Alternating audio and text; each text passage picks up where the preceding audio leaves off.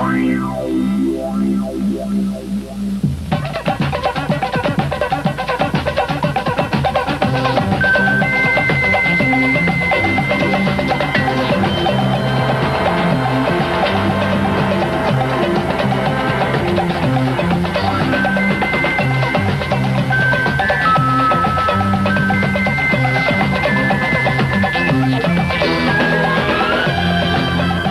Logo, o brilho das luzes será substituído pelos primeiros raios de sol. Fique agora na tranquilidade de seu lar.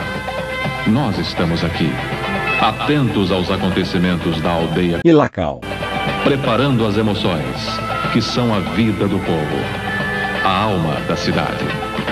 Até amanhã, na certeza de um novo tempo tempo de comunicação fazendo o homem livre no universo sem fronteiras.